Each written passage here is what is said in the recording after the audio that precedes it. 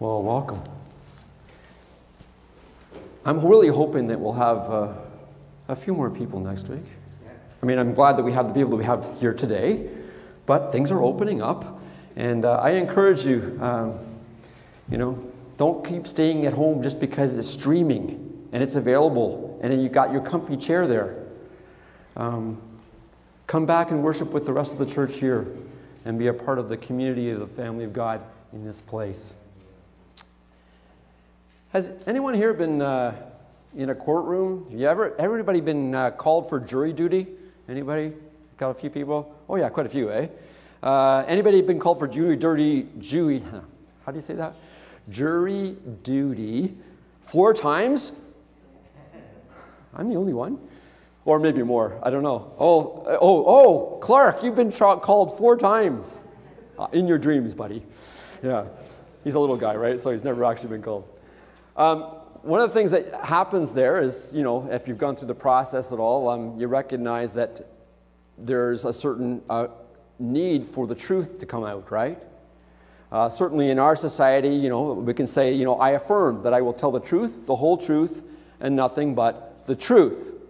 In Canadian law, you don't have to swear on the Bible. It's not required that you swear on the Bible. You can affirm that what you say will be yes. If you say yes, it'll be yes. And if you say no, it'll be no. But it must be the truth. Not a partial truth, not shades of the truth, but the honest truth.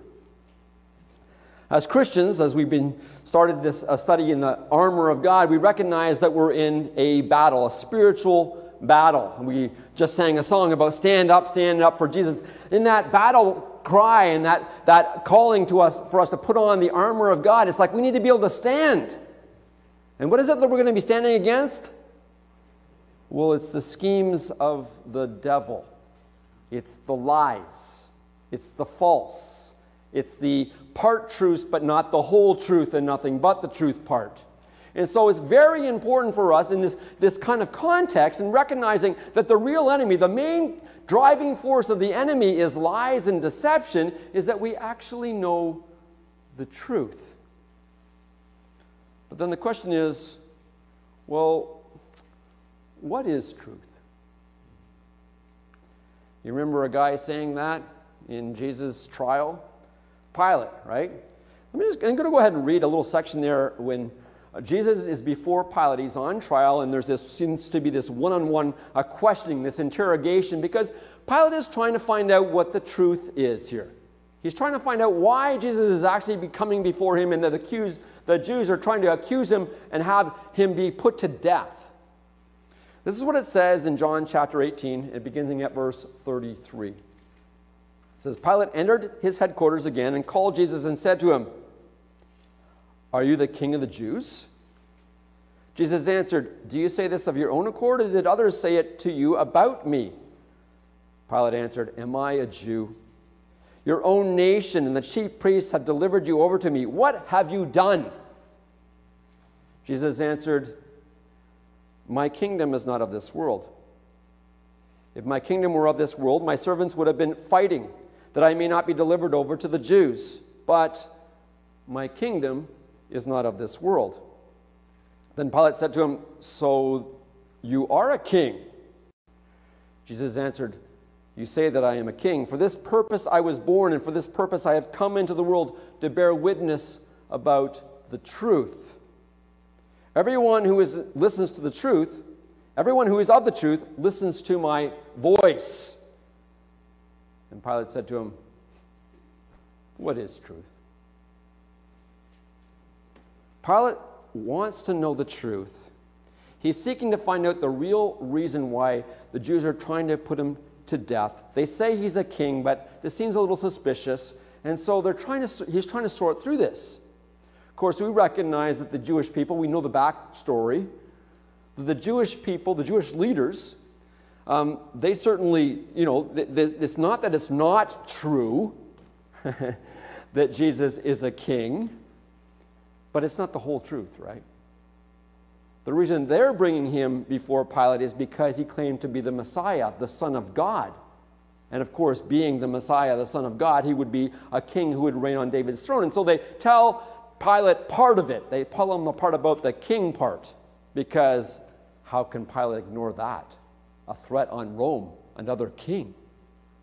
But it's not the whole truth. Jesus affirms that he's not a threat on Rome. He says he's got a kingdom, but his kingdom is what? Not of this world.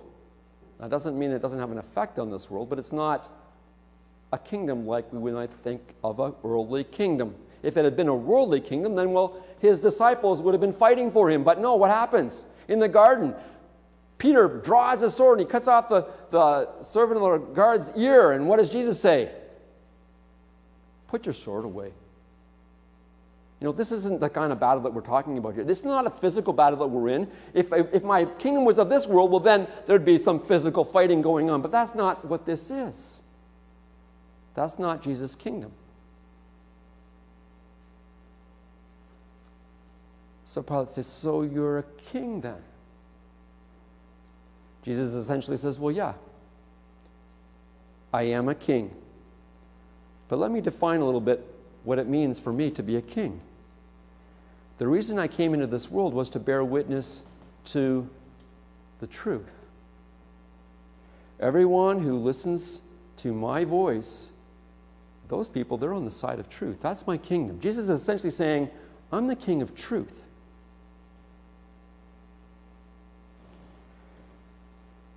He speaks the very words of God, Jesus does. He came into the world speaking only what God told him to speak. He speaks the very words of God. And not only does he speak the truth, the words of God, but he himself says, I am the way, the truth, and the life. And no one comes to the Father except through, through him, through Jesus, right? Well, Pilate is unable to see this truth. Crazily, crazy enough, like the truth is actually standing right in front of him, but he can't see it because his eyes are not open to the reality. He's looking for something else. He's looking for something in the wrong places. See, Satan's biggest weapon against you and I is the same. He wants to use deception on us. He wants us to be looking for truth. Even though we have the truth, he wants to say, I'm not sure if this is quite the truth or not. So we're looking around for the truth in all the wrong places. And so we might, he wants us to mockingly say, like Pilate, well, what is truth, anyways? Our society would claim to be an advocate for truth and justice, right?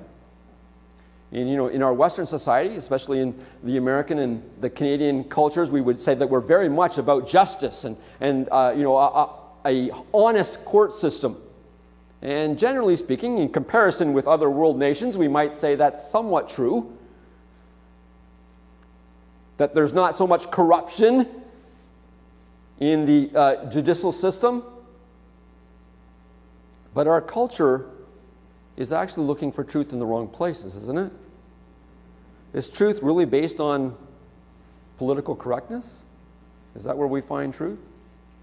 As long as you stay politically correct. Is truth based on uh, the popular opinion at a particular time? Is truth something that is always changing and, and voted upon by a democratic society that claims freedom for all while believing that there are actually relative truths, different shades?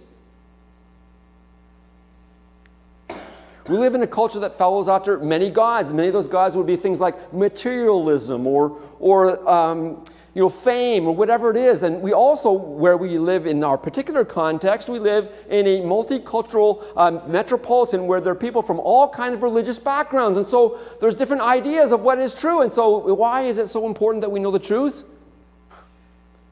There are so many influences out there. And so what is true? Is, true, is truth actually a moving target? I think not. How can we know the truth if it's never known? Because it's always changing. See, truth, and Jesus says, you know, everybody who listens to my voice, they're the ones who are of truth. Truth gives us a firm foundation so that we can stand against the deceptive influences in our world. There's all kinds of ideas and opinions and lofty uh, ideals. And if you look at one time and you look 10 years later, all of a sudden the truth has changed according to society's view of truth. Can something that's true actually change? But apparently, that's the way that we live, that's the culture that we live in. But we're people of the truth, which doesn't change. And so we have this foundation. There's various views uh, of the function of the Roman uh, soldier's belt.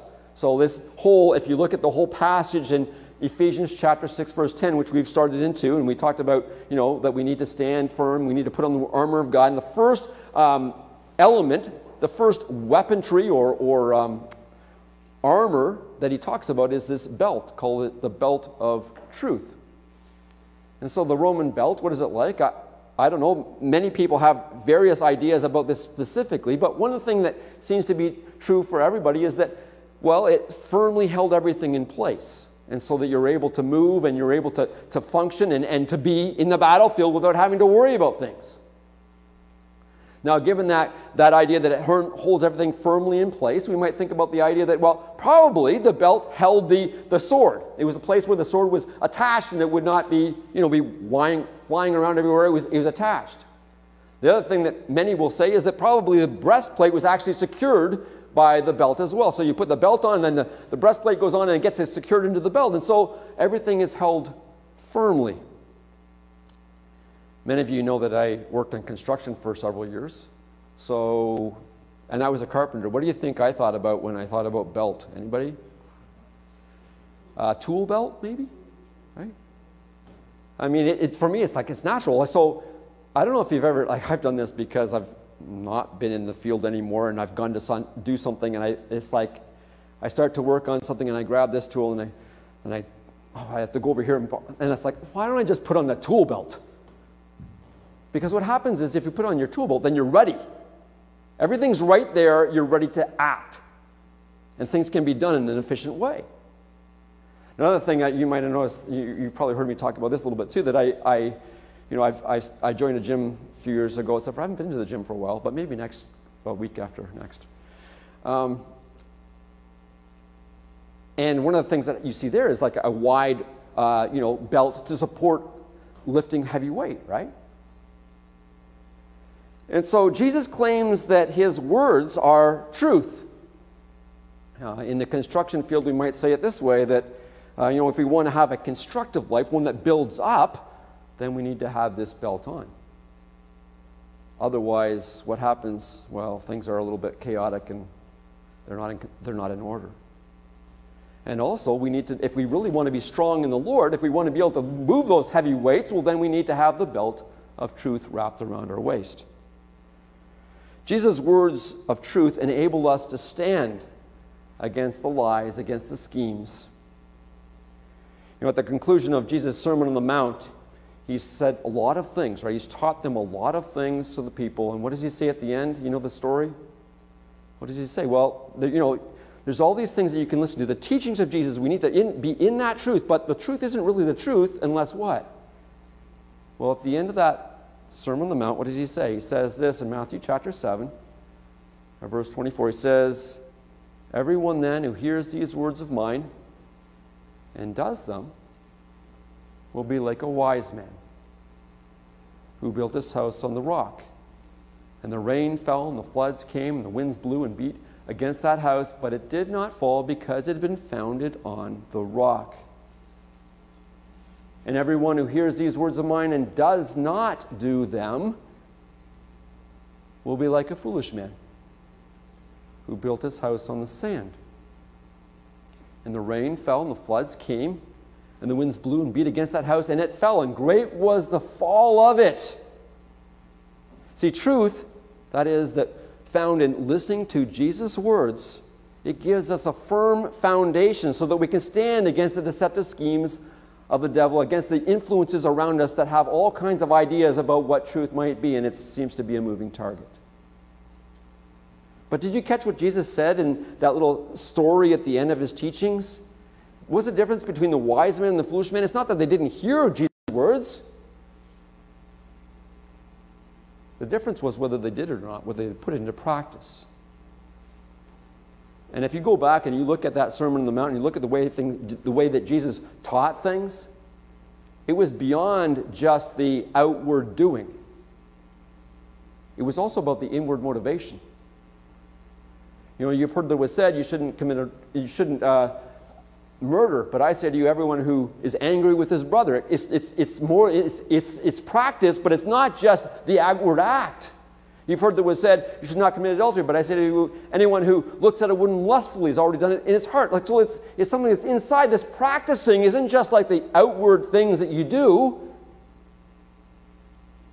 it's also the motivation of our heart. That for those who listen to truth, it's not just about doing the acts on the outside, it's, what, it's the acts on the outside come because of what's inside here. Fastening uh, the belt of truth around us prepares us for doing. I, I, I, mentioned the idea of a tool belt putting it on, so now you're ready to start. And so it frees us for action.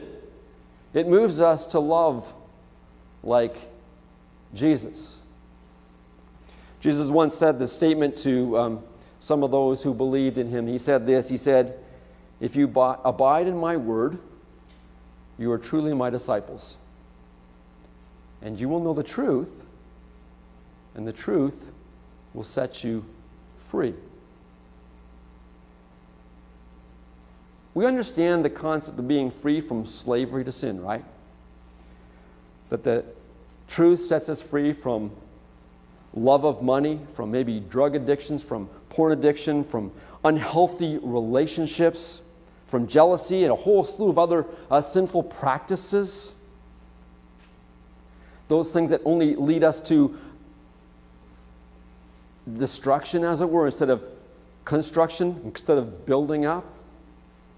The truth can also set us free from false teachings, from being tossed to and fro by the ways and carried about by every wind of doctrine, by human cunning, by craftiness and deceitful schemes. But what the truth happens with, when we have the truth within us, when we speak the truth in love to one another, instead of what instead of this destructiveness and this unknowingness, there's this knowing and there's this building up where we become stronger, become more like Jesus Christ.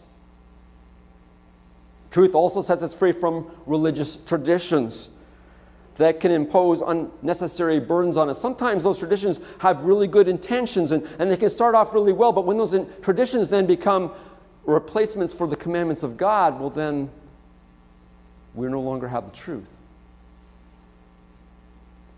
When it comes to our spiritual battles, not only does truth set us free from our past and from worldly influences around us today, but it also sets us free to be who God made us to be. What are we supposed to be like? If you're going to name one person that you're supposed to be like, what would you say? Please, please get it. Jesus Christ, right? We're set free not to do whatever we want. We're set free to be like Jesus, to love like Jesus. The uh, King James Version, instead of the word fast, and it uses an old English word gird, and gird actually means to um, prepare for action. Truth is found in the words of Jesus, and so we ought to, uh, you know, know those words. We need to uh, hear his teachings so that we're ready for action. We need to listen to the prophets and the apostles of Jesus Christ who speak his words. But truth is not the accumulation of biblical facts. say, well, I know my Bible really well, so therefore I must know the truth. Not necessarily. You know, it's not academic exercise and the accumulation of biblical facts that gives us truth. Truth moves beyond just facts to the practical to the, the one who does, and not just does on the outside, but does from the inside, motivated from the heart. A heart that is like Jesus in his heart and his love for others. Did Jesus die on the cross just as an outward act because, you know, it's the right thing to do? Or did he do it because he loved you and I?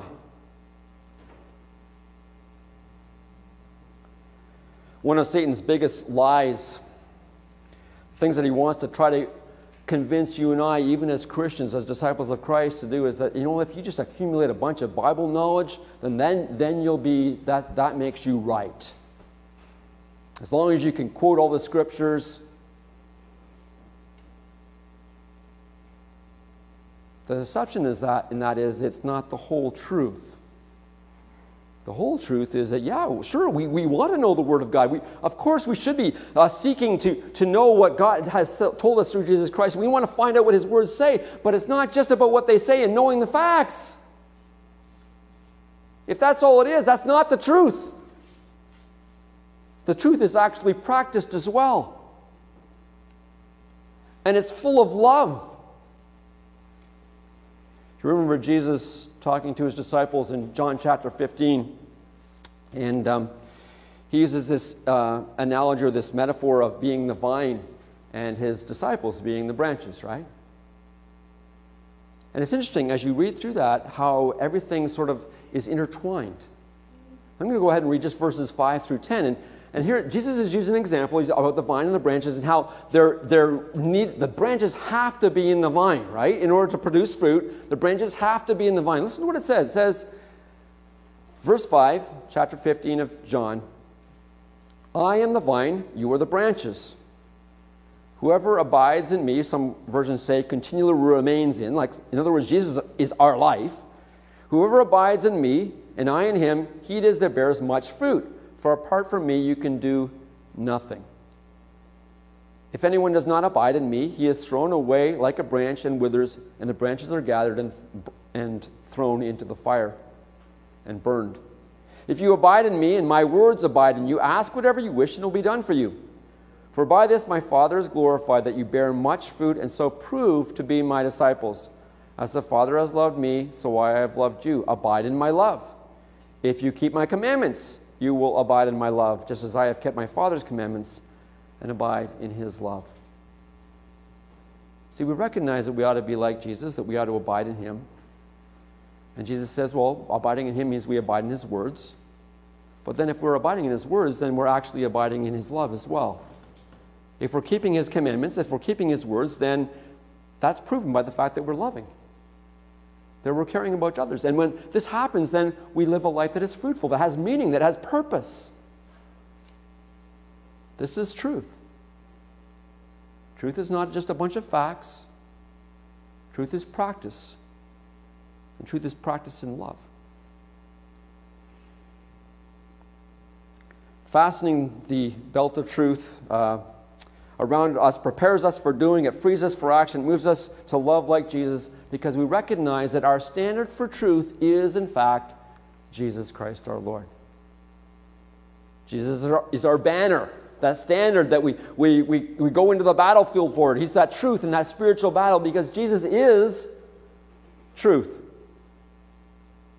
We wrap ourselves up in Jesus. We make him the very essence of our lives. You know, the next piece of armor that Paul talks about in the series as we go through uh, in the next half of verse 14 in chapter 6 of Ephesians is that the, we put on the breastplate of righteousness. But you know, we're not righteous in and of ourselves, are we? We're only righteous because we believe in the truth of God's word. We believe that Jesus Christ is Lord of our lives. And so for therefore he his truth is abiding in us and therefore we're made righteous because we put our faith in that truth. Pilate was seeking the truth about Jesus. But he's unwilling to hear it. And at a loss, he abruptly ends the conversation with, well, what is truth? The irony was that, of course, well, truth was standing right in front of him. He was face to face with the truth. And everyone on the side of truth listens to Jesus' voice. In your battle against the deceptive schemes of the devil, the influences of the world around us that have this, you know, ever moving truth standard, Listen to Jesus' words and practice them. the truth does set us free. It sets us free from the unknown, from this, you know, I, am not sure where things are going. Uh, there's instability in life. If you want to have stability, if everything's going to be firmly held in place, then we need to understand the truth. We need to listen to Jesus' words. We need to practice the things that Jesus practiced. We heard in our reading this morning from 1 John. Uh, I didn't write it down. Um, it talks about the fact that, you know, somebody got a Bible. A physical Bible, and look at, at 1 John chapter uh, 2. 1 John chapter 2, let me see. Uh, My little children, I'm writing these things to you that you may not sin. But if anyone does sin, we have an advocate with the Father, Jesus Christ the righteous. He is the propitiation for our sins, and not for ours only, but also for the sins of the whole world. By this we know that we have come to know him if we keep his commandments. Whoever says, I know him, but does not keep his commandments, is a liar, and the truth is not in him. But whoever keeps his word, in him truly the love of God is perfected. And by this we know that we are in him if we keep his commandments. Something like that, right? There's this idea that commandments, the commandments of Christ Jesus, those aren't bad things. It's not like, oh, I have to do all these rules. No, what happens is if we are keeping the commandments of Jesus, then we're actually in love with Jesus. We're walking in the same way that Jesus walked. And how did Jesus walk? He did not walk in some sort of arrogant way. You know what can happen when people have the truth without love? It becomes arrogance. Like, we're right. You're wrong. That's not truth. Jesus Christ was not arrogant. Did he speak truth? Truth, and his words were absolutely right, absolutely right. Yes, they were. And our words can be absolutely right too, but if they're just words that say that we're right and you're wrong, then they're not really the truth. Because the truth, as walking in the same way that Jesus walked, is one that is in humility and love for other people and cares about the world around us, no matter who they are or what they look like. And that's who we need to be. So I encourage you, fasten on that belt of truth. Know the words of God and practice them, but practice them in love because God loves you. And He cared enough for you to send His Son, who didn't just go through the acts because it was the right thing to do, but He did it because He loves you and I as well. And that's our message to the people around us that they can be free, they can know the truth, and they can be free in Christ Jesus. Free to live in a way that is the best way to live, a way of love. May you be blessed by God's word this morning.